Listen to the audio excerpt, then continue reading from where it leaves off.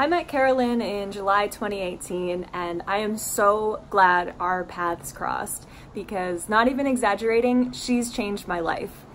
I've worked with her through individual coaching and a few of her group programs and each experience has been transformative.